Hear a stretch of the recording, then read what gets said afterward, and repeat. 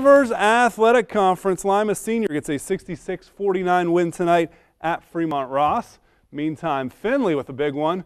Third place Trojans, 13 and 5 overall, hosting second place in state-ranked Toledo St. Francis tonight at Jerry Snodgrass Gymnasium.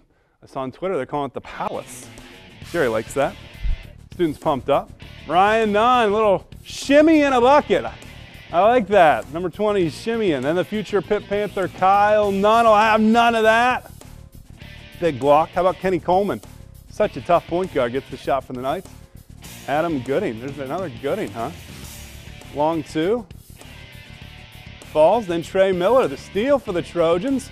And that leads to this. 1.5 seconds left. Jacob Logston gets the shot to fall at the buzzer, falling out. What a big hit by the Trojans and they knocked down St. Francis 63 61. Nunn a game winner at the buzzer, 18.6 rebounds as well. So both Findlay Lima Senior have knocked out St. Francis. Nate Garlock and I have the call of Findlay Lima Senior from right here in Lima on Tuesday. You can watch it Wednesday on WOSN. So here's your